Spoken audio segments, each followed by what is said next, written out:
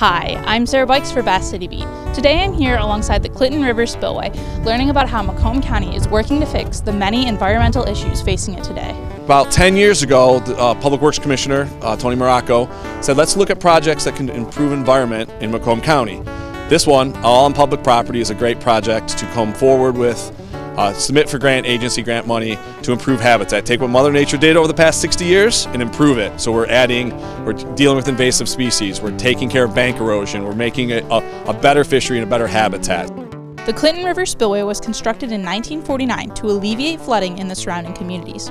While the problem of flooding was solved, many environmental issues surfaced. The spillway caused problems with fish passage and stream connectivity, along with sedimentation and invasive species which damaged the shoreline.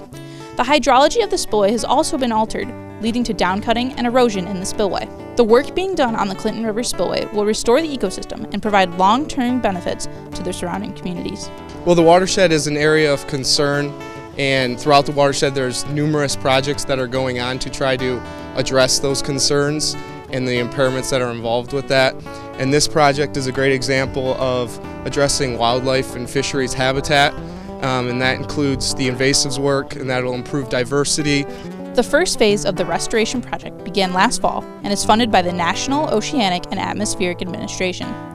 This phase involves the clearance of invasive vegetation, including non-native trees and brush. This phase will continue for the next two to three years. The next step will replace the existing shoreline with a more natural living shoreline using native vegetation and materials to improve the ecology of the area.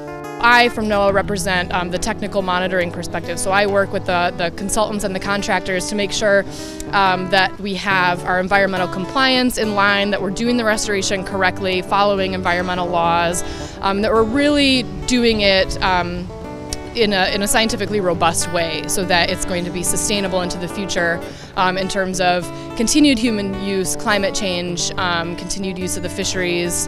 The Clinton River Spillway represents a huge opportunity because it, it's, um, it's giving us 20,000 linear feet of potential restoration. So on, on par with the, the other restoration projects or potential restorations in the area, it's, it's massive. They're going to see hopefully a lot more native species of plants and um, better conditions that will help improve spawning for fish and maybe increase fishing opportunities and access for fishing with uh, potential piers and things like that that are out here and um, any short-term impacts will definitely be um, outweighed by the long-term impacts and benefits that we'll see. The restoration of the Clinton River Spillway will provide countless benefits that will improve ecology, economy, and recreation here in Macomb County. Make sure you go out and visit this wonderful resource that we have right at our fingertips. For Bath City Beat, I'm Sara Byks.